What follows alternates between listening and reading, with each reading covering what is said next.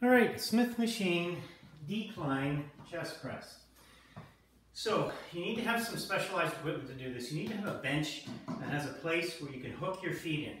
That's number one. And number two, you gotta have a good back, okay? Because this puts a fair amount of strain on your back. Um, never a good idea, by the way, to do crunches with your feet hooked under a couch or under something.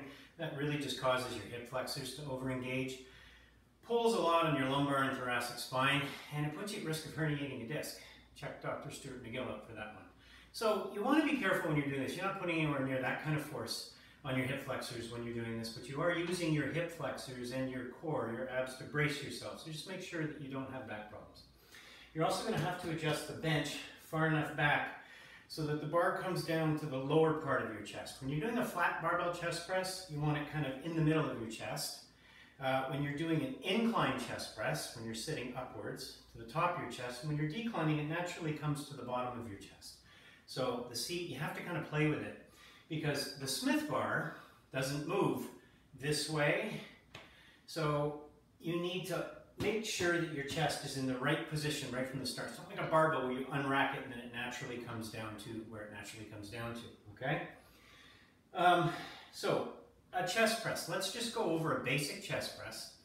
It is with your core tight, you're lying down, you've got five points of contact, you've got your feet on the ground with your feet gripping the ground, you got your butt on the bench, you squeeze your shoulder blades together, they're on the bench and your head's on the bench. Everything's flat. Keep your core tight, engage, engage, engage.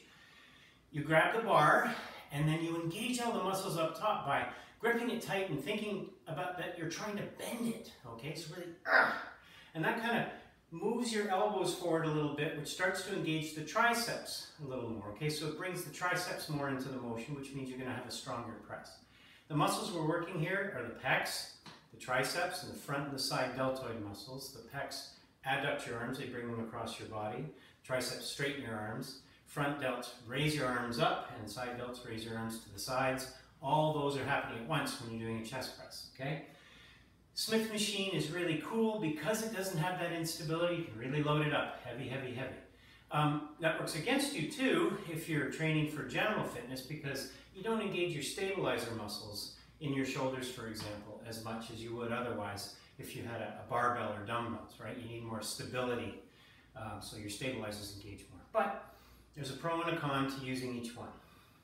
One thing you have to remember when you do a Smith machine press is when you push it up, you have to crank it backwards and keep it cranked backwards through the whole range of motion. Otherwise, you're going to hit the stops here. Okay, so you've got to push it up, crank it, go through your sets, and then move it forward and lock it, and then you look both ways to make sure it's locked before you let it go, or else you're going to end up with a bar come crashing down on you. Okay, so I'm going to show you what it looks like. I'm going to hook my feet in here. The only difference this from a flat chest press is my feet aren't on the ground, they're hooked under here, and the bench is declined down this way, okay?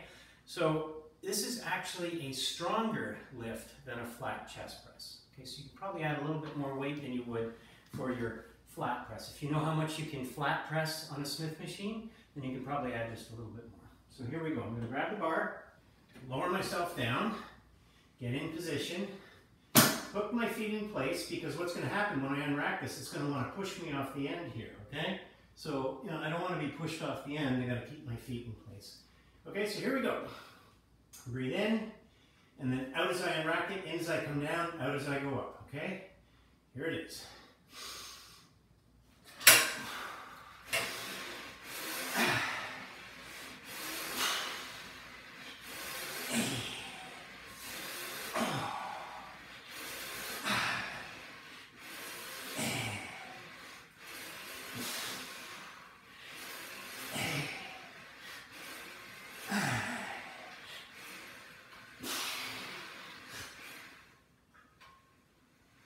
Okay, so I'm going to work both ways, make sure that it's holding. Great.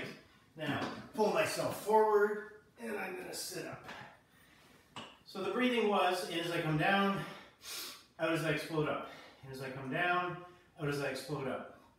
If you have shoulder problems, only come down to 90 degrees.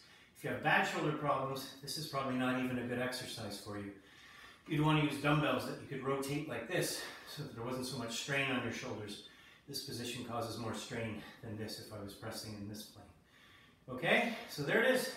Smith machine decline chest press.